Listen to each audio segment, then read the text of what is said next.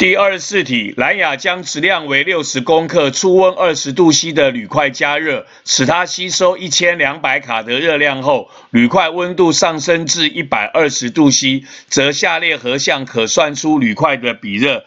根据我们所背的公式，H 等于 m。S delta T 就知道比热就是 H 除以 m delta T。按照这一题所给的数据，我们热量有一千两百卡，我们的质量是六十克，初温是二十，末温是一百二十，所以 delta T 是一百二十减二十，就发现我们的计算的式子跟我们的 A 选项的算式是一样的。所以第二十四题问我们说，则下列何项可算出铝块的比热？我们答案选的是 A。